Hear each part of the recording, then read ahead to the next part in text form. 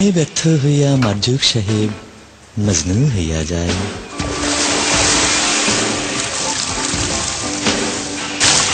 জরিন হ্যাঁ কি হয়েছে? তুমি আমাকে ছেড়ে গেলে কেন? চুপ করা তুমি শেভ করো না কেন? তুমি বিয়ে করলে কেন এই জন্য আমি শেভ করি না। যাও এখন আমি বলছি শেভ করে আসো। শেভ? কি ব্লেড দিয়ে করব? আমি কি জানি? তোমার জামাই কি দিয়ে করে? শর্ট ব্লেড তাহলে আমিও সব